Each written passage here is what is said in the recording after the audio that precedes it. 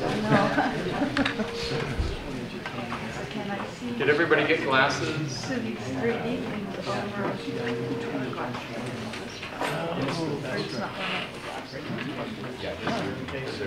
Ooh, boy, I got some good chilies on this one.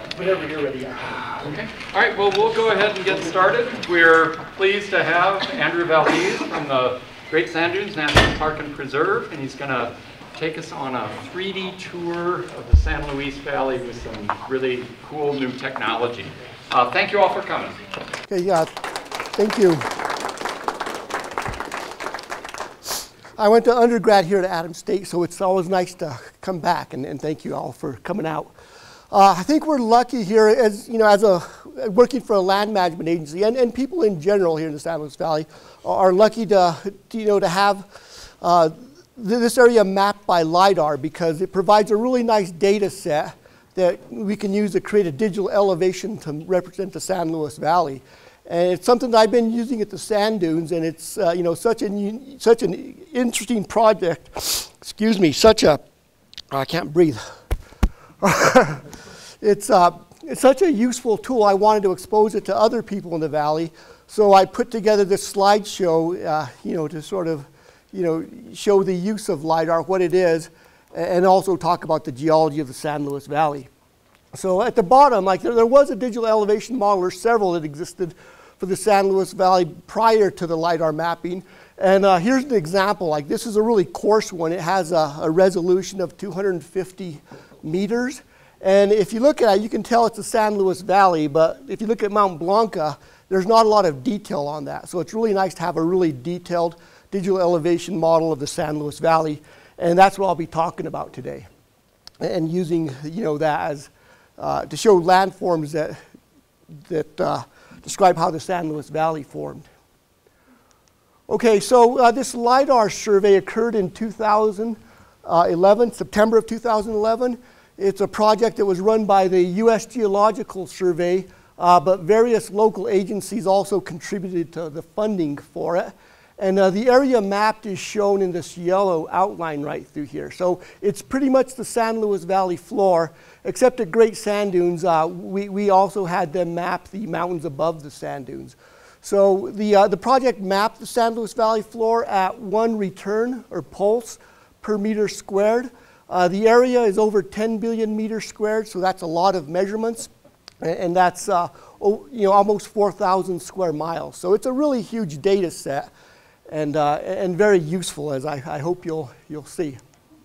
Andrew, can I ask a question? That sure. southern boundary, is that the Colorado state line?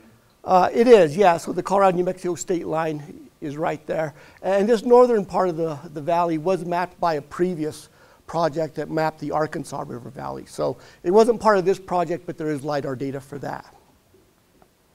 Okay, yeah, and if anybody has any questions, just shout them out as we're going through. Okay, so what is LiDAR? It's uh, basically a laser scan uh, of the ground surface. In this case, it was airborne LiDAR. So you have an airplane with a laser scanner that sweeps across the, uh, the Earth's surface as it flies over the Earth's surface. Uh, there's also, a, and this laser measures the direction and angle to the Earth's surface. So we're, we're measuring distance. there's also a GPS unit on board uh, the aircraft. There's a GPS unit on board the ground and, and that uh, ties the measurements to a GPS coordinate system. Uh, here's another example of that. So the airplane flies. Uh, you're also measuring the, uh, the attitude of the airplane uh, to correct uh, you know, the data, and so it'll scan across the, the, the, ground floor. And in this project, we, you know, they mapped the, the valley floor, sending out 100,000 pulses per second, so that's, that's a lot of measurements.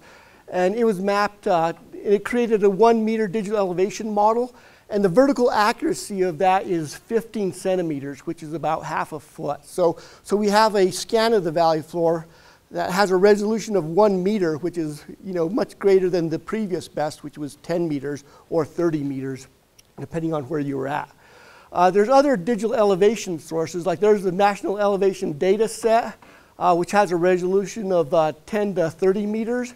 And then it goes from there. Like the larger ones are 250 meters and, uh, and, and one kilometer. Uh, the first global mapping of, of the Earth happened in 2000. It was called uh, the shuttle radar topography mission, and it mapped the whole Earth at, at a 30 meter resolution. So a lot of programs like Google Earth use that data. So that's LiDAR. So uh, what we do when we you know, take this LiDAR data and, and start to create useful pro- projects like, uh, like these landscapes here is we start off with the LiDAR data and they come in a format called a LAS file. So, and that basically looks like this. It's a bunch of dots where we have the coordinates and elevations. So this is the LiDAR data right here. And, uh, and, this is one scan. This is a scan from another flight line. And so you, at, at each one of these points, we have the, uh, the x, y, and z coordinates. And we can take that and convert it to a digital elevation model. So that's what this is right here. So this scene right here, we're looking at a hill where the highest elevations are color coded in white, the lowest are the blue here. And then from this, we can process it by you know, replicating what it would look like if you had the sun shining in from this direction uh, on a gray surface, and that's called a hillshade. So you can now see more detail because uh, you can actually see the hills themselves and more subtle features like all these little gullies right through here. And then from there, we can uh, create a 3D perspective. So we use both the digital elevation model and the hillshade. Uh, and what we do is we propped the hillshade up based on the elevation models through here. So now this is no longer two-dimensional, it's three-dimensional. And then we can do stereo 3D by uh, separating this image into a red and blue channel. So that way you're looking you know, at, at separate images with each eye, and that gives it a, a stereo 3D effect. Uh, now, since you guys are, are, students and are eager to learn, and some of you may take GIS, I'll go into a little more detail on, uh, on how this process occurs. First, you have to obtain the data, and it's free from the USGS. So if you Google uh, Earth Explorer, you'll come to this website here. And uh, the map view will show up with a map view of North America, so you can zoom in on the San Luis Valley and then select your area of interest. Uh, and it'll show up as this red polygon here. And then once you do that, then uh, the next thing you need to do is this autofocus. Uh, next thing you need to do is select data sets once you have your area selected.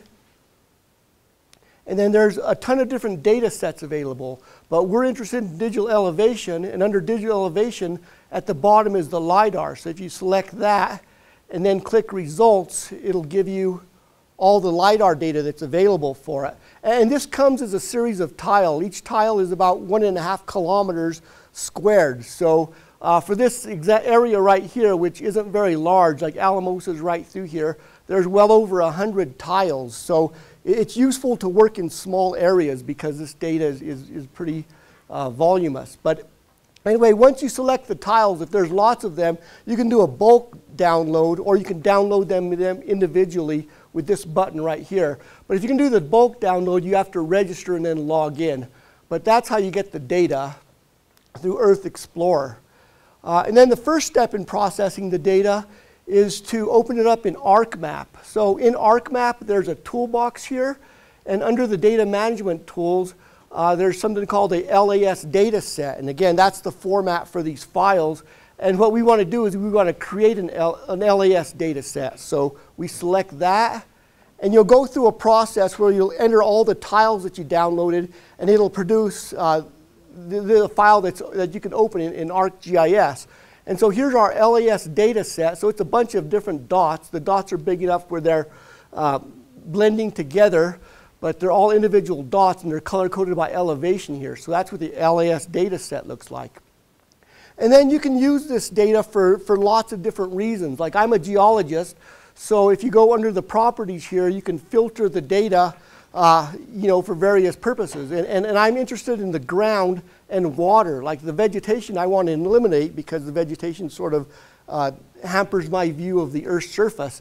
So one way that LiDAR is, is better than looking at the ground is it removes all the vegetation. But if you're a biologist and if you're interested in vegetation, you can select those options to see what the properties of that vegetation are as well. But uh, for this purpose, for, for creating uh, hillshades of, of, of topography, we just want the ground and the water.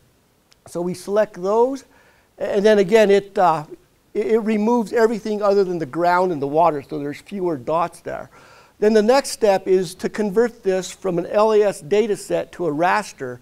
And again, once in ARC Toolbox, you go to Conversion Tools to Raster and LAS dataset to raster, and that'll run you through a routine that does the conversion. Because right now, you know, you don't have the entire ground surface represented, it's just individual points, and we want to represent the entire surface.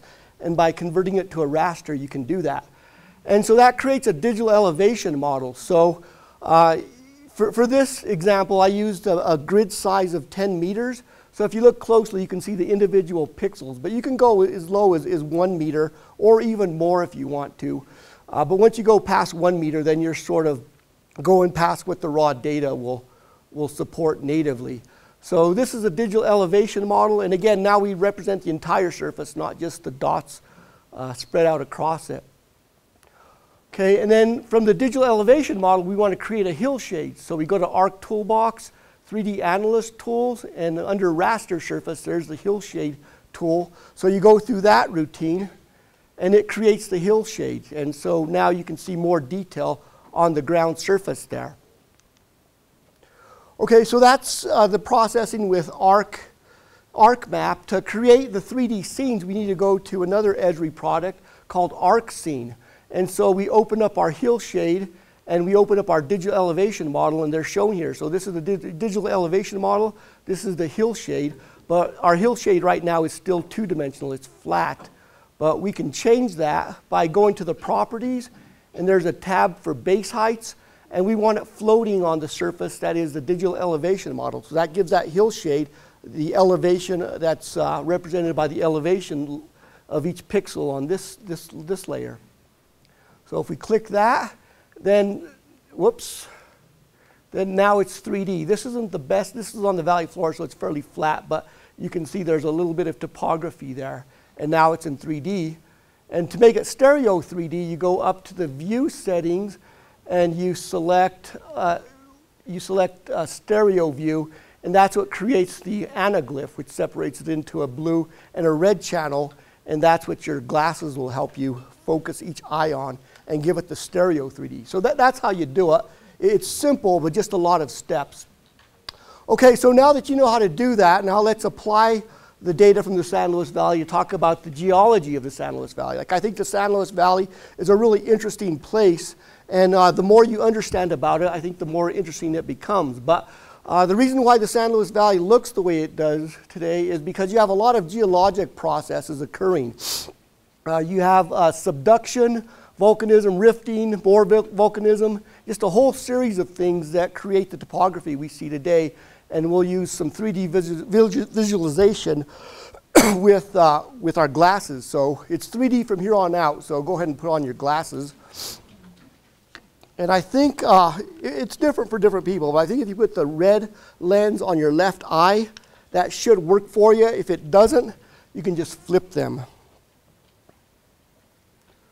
Okay.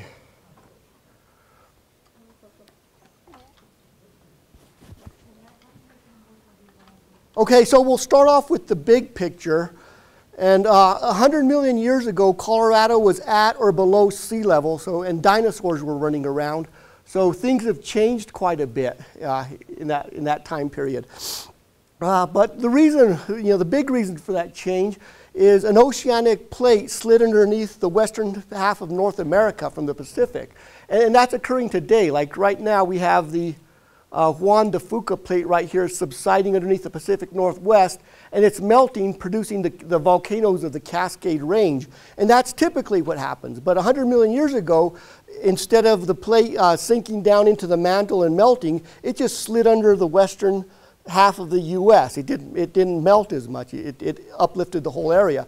And the first thing that happened is it compressed the area. So the Rockies were originally formed to do the compression folding rocks. And then as the, uh, the uh, ocean spreading center, which is the boundary between two different plate cr crusts where the mantle is really close to the surface, moved under North America, it produced volcanism. So there was a lot of volcanoes here at one time. And then after that, they left a hot mantle underneath uh, North America, and that uplifted the whole region. So, so that's the big picture. That's what changed uh, Colorado from being at sea level to uh, having the Rocky Mountains, which we see here today.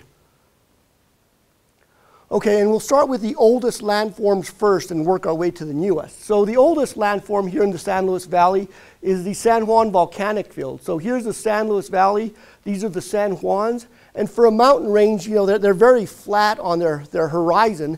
And the reason for that is it's a volcanic field. You had lots of different volcanoes, uh, volcanic flows and ash flows erupting, and they stacked on top of each other, producing a large plateau. So if you look at the whole area, it's flat on top uh, because of those flows stacking up on top of each other. And uh, the volcanism was active from 35 million years ago to 15 million years ago. And another note is like I'll have the, uh, the direction the view is looking and also a vertical exaggeration. So a vertical exaggeration of one uh, means that uh, I haven't stretched it vertically, but as ground gets flatter, in order to see more detail, if you stretch it vertically, more things pop up. And that's another thing that makes the LiDAR data more useful than just looking at something with your own eyes out in the field is because you can, you can manipulate it and stretch it. And so you see more features. And uh, when, the, when the San Juans first started to form, uh, the lava, the, the, eruptions were coming from large centralized volcanoes. And uh, most of them are buried underneath the, the flows, but there's some evidence for, for one of those volcanoes near Del Norte, and it was called Summer Coon Volcano. So here's the town of Del Norte right here. This is the Rio Grande River. And north of it is the, uh, the basement or the roots of a volcano. So if we look right here, this little rocky portion right here is the volcanic neck where lava was coming up to the surface. And then coming away from that are all these radial dikes. As the lava was moving up through the ground, it cracked it, it splintered off in, in every direction. And those cracks were filled with lava. And now that the area is eroding, uh, it, we have these dikes which stand up. And, and this, uh, this scene was generated from Google Earth. We're not using the LiDAR data yet, but it's right on the edge of our LiDAR mapping. So let's look at it in LiDAR, and you can see there's a lot more detail. Okay, so, so this is the volcanic neck right through here, and these are the dikes going out in, in every direction. I think the La Ventana arch is on this dike right through here, which goes off in this direction. So again, like this is the example of the LiDAR, and keep in mind that the vertical exaggeration is two, so that means things are twice as steep as they are in reality. So our next view is going to be of the same area, but it's going to be looking from this direction. And so uh, again, here's the, uh, the volcanic neck, and you can see this one dike is actually a swarm of parallel dikes. There's at least three different dikes there. Here's another dike right through here and then there's dikes going off in, in other directions. So again, it's, I think it's really useful to, uh, to sort of visualize uh, the land surface and remove the vegetation, which is nice. Now, if this volcano were still around, had it not eroded away, uh, you know, there have been estimates that there'd be a 12,000 foot peak here. So uh, since this is digital data, we can do what if. Like, what if that volcano hadn't eroded away? What would it look like? So th this is the San Luis Valley through here. This would be Wolf Creek Pass. So if we're looking into the valley, if there was still a 12, a 17,000 foot volcano, it might look something like this. And the way I created this is there's a 17,000 foot volcano in Mexico. So I took, you know, the contours from that, moved them to Del Norte, and then regenerated this scene here. So, so it'd be pretty prominent if it was out there. Our next view is going to be looking from this direction towards the Summer Coon volcano. Okay, so this would be like near the town of Villa Grove, and uh, it, it, would, it would be about a, a mile higher than the surrounding mountains, so it would be impressive if it was still out there. Okay, so after these central volcanoes erupted and it produced about the lower two thirds of, of the, uh, the height of the San Juans, uh, the magma chambers got closer to the surface. And as they erupted, you know, the, the void left from the erupted magma uh, collapsed and it produced a feature called a caldera. And so this is the San Luis Valley out, out here. This is the town of Creede, the Creede area. If you look at this big circular valley right through here, that's a collapse. That's one of these calderas. So this whole area was, was over a magma chamber. And after the magma chamber emptied, you had a collapse. And then you had subsequent eruptions that sort of produced this dome that's sort of partially filling the collapse. And there's lots of these calderas out in the San Juans. Uh, I forgot the exact number, but something like 20, right, Dr. Benson? 26. 26. So, so uh, there's a lot of them out there, and these produce big explosive eruptions. And then after the calderas happened, the last period, of, or the last episode of volcanism, uh, the whole area was, was overtopped with some basalt flows. And basalt is, is a very, has a low viscosity, so it flows like water. It's very flat. And we can see those in the San, San Luis Hills. This is Flat Top Hill out there uh, near Sanford. And if you look closely, there's lots of horizontal layers through here. Those are the basalt flows that cap the San Juan Mountains. And the San Luis Hills are actually part of the San Juan Mountains because the San Juan Mountains existed before the San Luis Valley did. So they extended over the area that, that is now the San Luis Valley. And the San Luis Hills are part of that vol volcanic plateau that's still exposed. Okay, so the next thing I'm going to talk about, after volcanism, you know, the whole area got uplifted and that stretched the crust and that produced the Rio Grande Rift. And a rift is, you know, crust that's pulling apart from each other. So in this scene, we're, we're looking uh, north into the San Luis Valley. Here's the San Luis Valley, here's the city of Albuquerque, and, uh, and this feature through here is the Rio Grande Rift. And it pretty much controls the flow of the Rio Grande because most rivers, like you have the Arkansas River through here, the San Juan River, like they'll start in mountains and then they flow away from mountains, like they flow uh, you know, perpendicular to the divide of the mountains. But the Rio Grande uh, River is strange because you have the Continental Divide moving in this direction and it flows parallel to the Continental Divide, and that's because its drainage is, is, is controlled by this rift, which is producing this split in the crust right through here. But getting back to the San Luis Valley, the next thing we'll be looking at is a cross section of the valley along this black line here. Okay, so here we have the Sangre de Cristo Mountains. This is looking north, so Alamosa would be like where we're looking from. So you have the San Cristo Mountains here. The sand dunes are right there. This is the valley floor, and then these are the San Juan Mountains. And the LiDAR data, is, you know, is what we have on the surface here. But again, since this is 3D, we can show what the structure of the valley subsurface is in 3D. 3D. And most people don't realize that the valley is actually a very deep canyon that's full of sand and gravel and water. And this shows the shape of it. This is the structure of the San Luis Valley. And this plane right here is sea level. So the valley is a canyon that goes about 10,000 feet below sea level. And, and there's a block that's sort of high in the middle. And then there's a deep canyon out on the east side. And then it's not as deep on the west side. Uh, the next scene, we're going to be looking at this same profile, but we'll be looking at it from the north. So this is that profile we just looked at. And this is the profile in the southern end of the valley. This would be like Conejos County and Costilla County. And we can see similar features, but they're better exposed there. Am I in your way? Okay, so here we have the San Juan Mountains. These are the San Juan Mountains. And then it flattens out over this, this uh, graben right here. And then this high point, it's called a horst, is exposed to the San Luis Hills. So this block right here, the, the San Luis Hills, are in the center of the valley, but they're just buried by sediment. And then we have this deep uh, graben through here. That's the flats right through here. And then if you'll notice right here in the subsurface, there's this step. That's exposed on the surface at the base of the, uh, the Sangre de Cristo Mountains. And then you have the main Sangre de Cristo mountain block here. So the same structure that we have in the southern part of the valley is in the, is in the central part of the valley, but it's just buried. It's subsided, so it got buried by sediment. Okay, and, and, then along with the, uh, the rifting, there's a lot of faulting because the Earth's crust is breaking apart. That produces faults and earthquakes. And there are some uh, rift or fault-related land, or landforms that we can see. This is the town of Fort Garland right through here. And south of Fort Garland are some hills that are known as cuestas. And this is just a block that's, that's been faulted, and the faulting has produced some, some slight tilting. So if you look at that with LiDAR, uh, we can see a lot more detail. Uh, again, Fort Garland is right through here, and this is that block. So there's a fault line right at the base of it. And so this block is moving up. The block that's in the San Luis Valley is moving down, and it's capped by this basalt flow through here that's up along the top. And you can see there's a slight tilt to it, making it a landform called a cuesta. Our next view will be looking at this same feature, but from this direction. Okay, so again, here's our fault line right through here. This is the valley floor.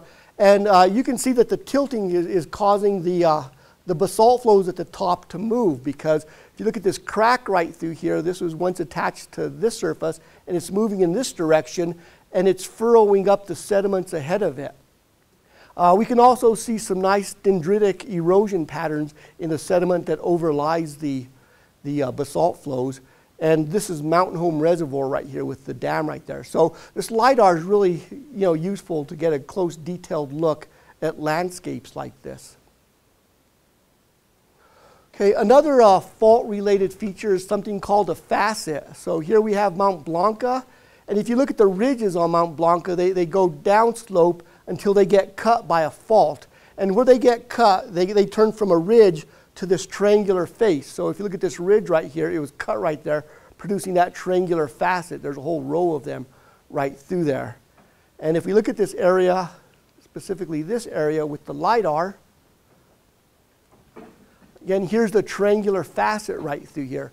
But since we've remo removed the trees that are out there, uh, we can also see the most recent break, which is in this alluvial fan right here. This linear thing right here is a feature known as a fault scarp. So when we had our most recent earthquakes, there was some offset. The offset produced this step that we see right through here. And we'll be looking at the same scene, but from this direction next. So again, here's the triangular facet. Here's the fault scarp right through here.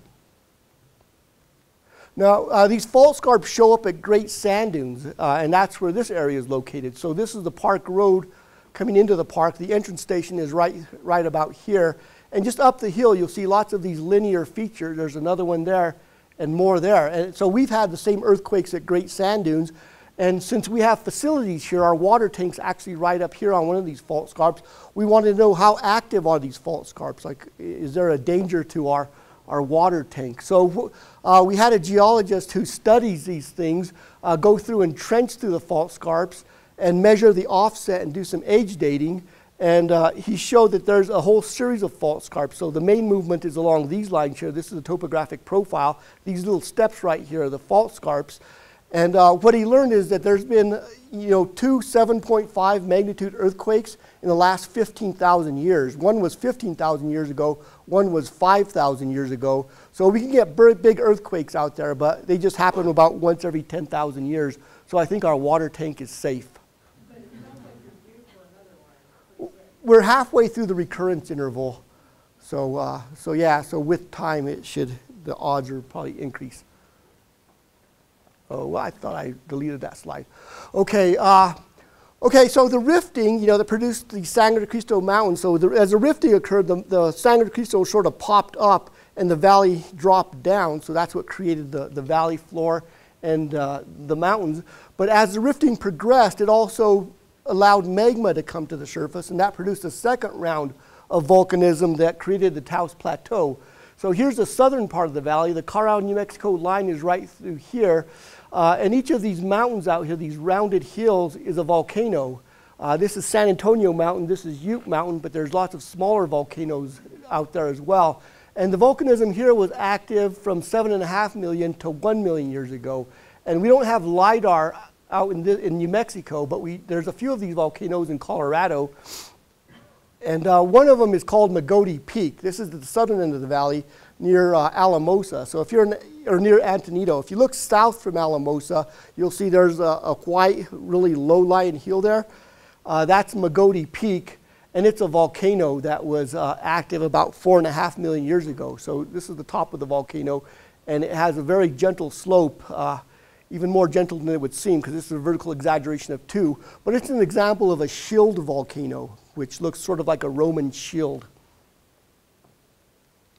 And if we look at the top of it, like the, the peak of the volcano, there's this circular feature, which is the crater of the volcano, and it's filled by a little resurgent dome or the neck as well. And then the youngest volcano is only a million years old, and it's in Costilla County. So the town of San Luis is off in this direction, but out in the prairie there is this pancake-shaped hill right through here. It's only a, it's a little over a square mile, and that's called Mesita volcano, and it's only one million years old. So if we look at it with the LiDAR, uh, this is, it was a small eruption, That's this area right through here. So the, the, the, uh, volcanic neck is right through here. And this pit is actually, uh, you know, due to the mining activity because there's this volcanic rock called scoria that they're mining out there. And that's created this pit. But we can also see a couple of features. Like since this was, was uh, laid down a million years ago, there's been a couple of faults because the volcano is split. Like there's a break right through there, that's a fault, and there's a second break through there. And I know that this fault was known about before LIDAR, but I don't think they knew about this second fault uh, before the LIDAR.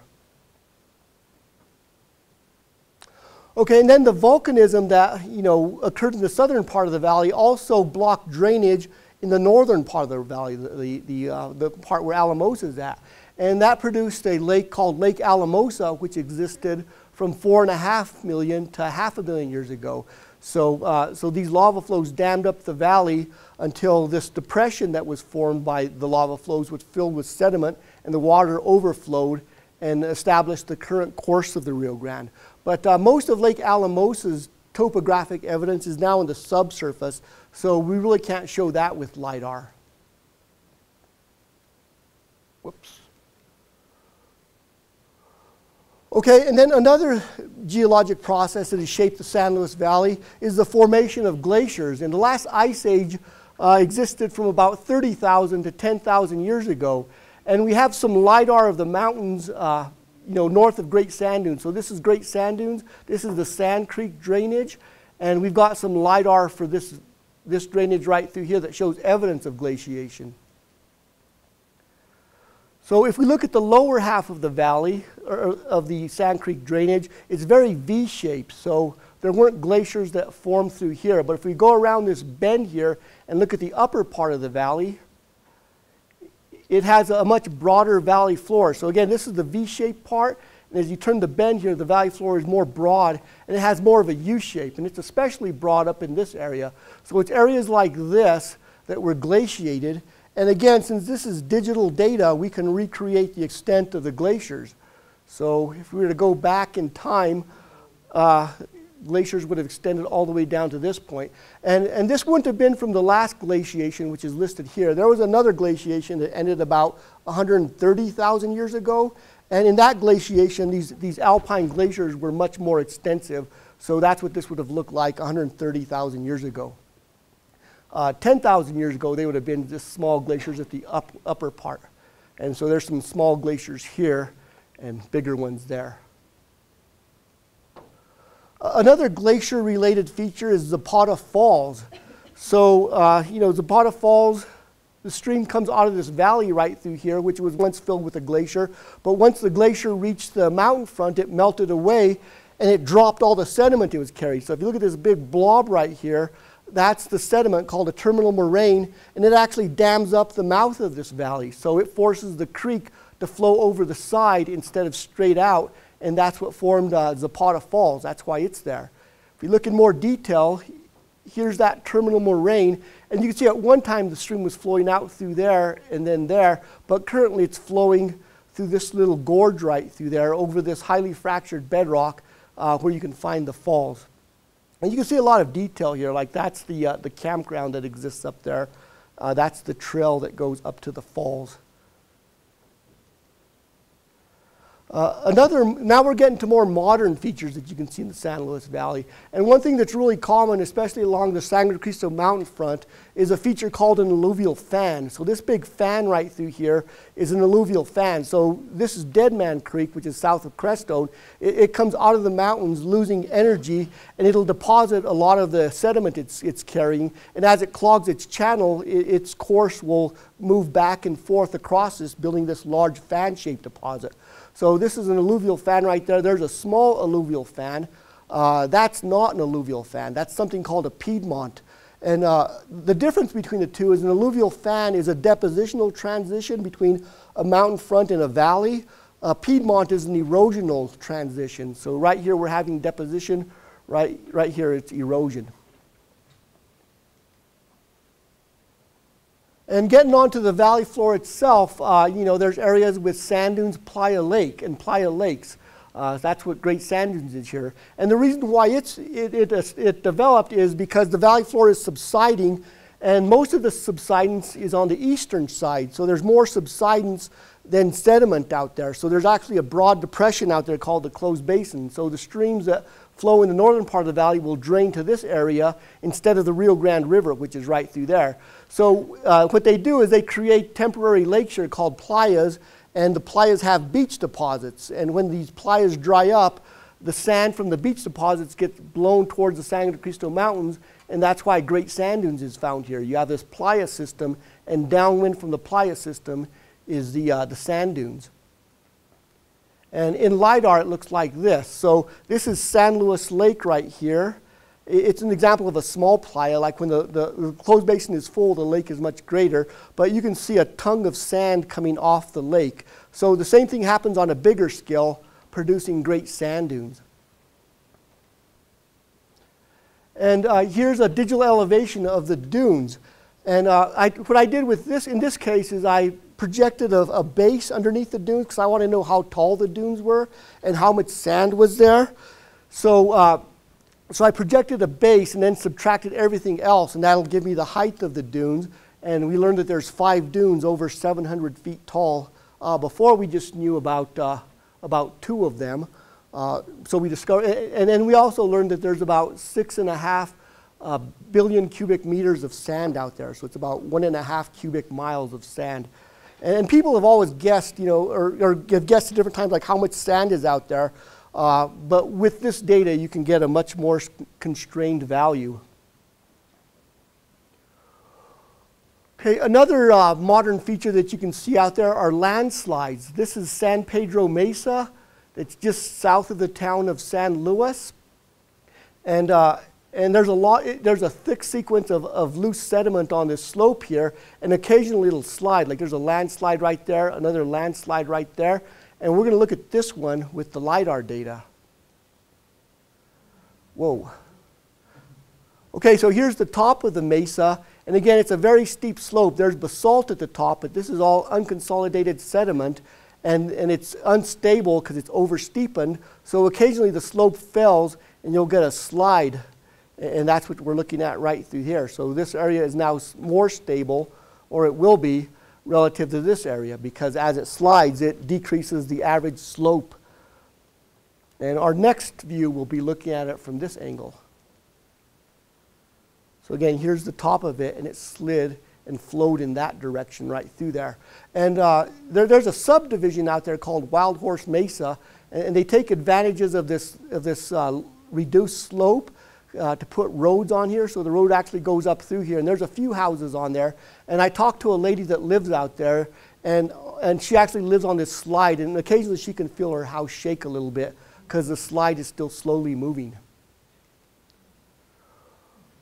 Okay, now when we get to the valley floor, the valley floor is mostly river deposits or fluvial deposits.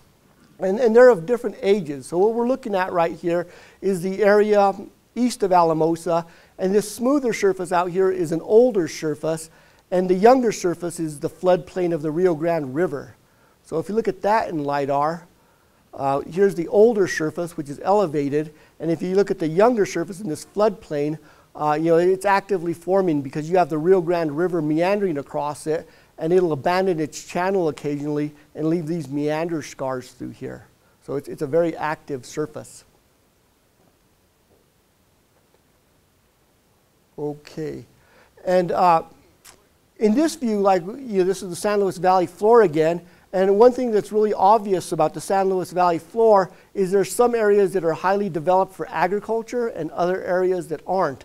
And for the most part, where you have these river deposits is where you find the agriculture because that's where there's good soil and usually water available. And if you look at those more closely,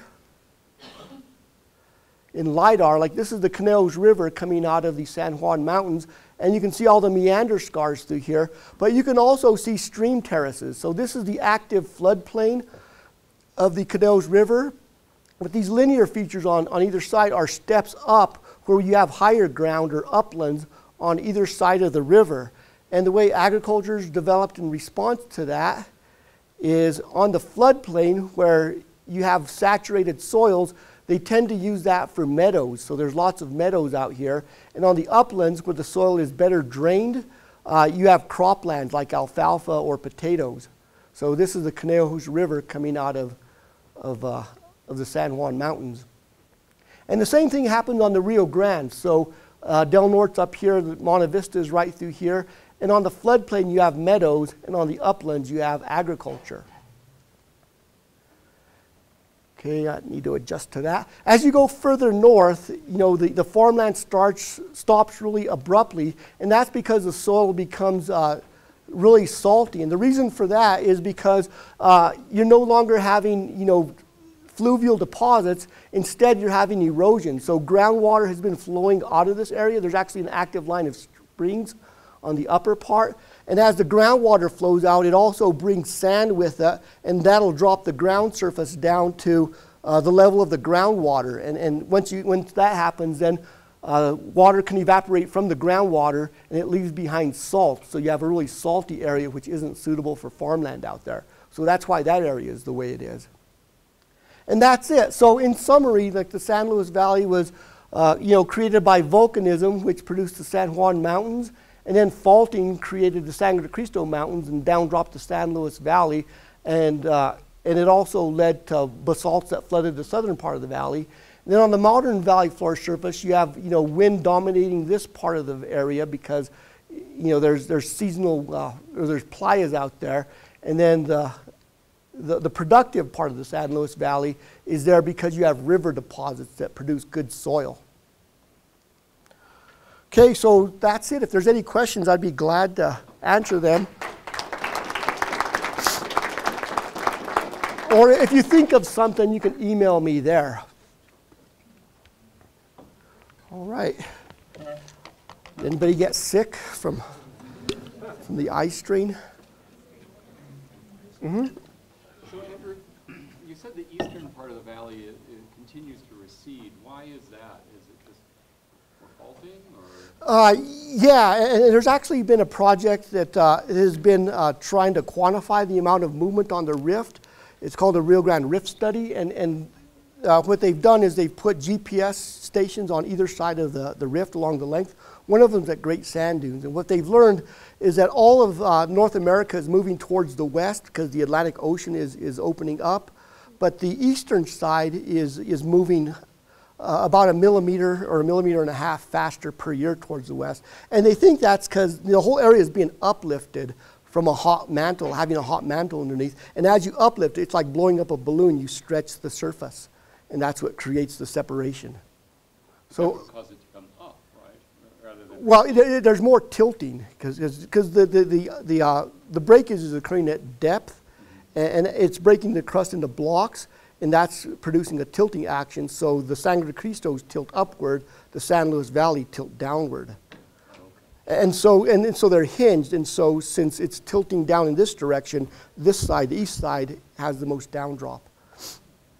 And what's interesting about the, the rift is, uh, you know, the, the hinge or the, the tilting, you know, sort of alternates. Like uh, up in the Arkansas River Valley, you know, most of the downdrop is on the west side.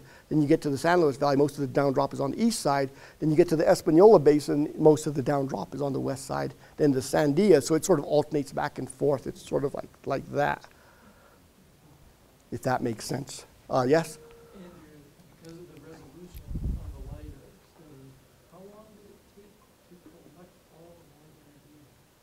Oh, they, they collected it, uh, it, it happened all in September of 2011. Probably within a week, it's processing the data that takes a long time.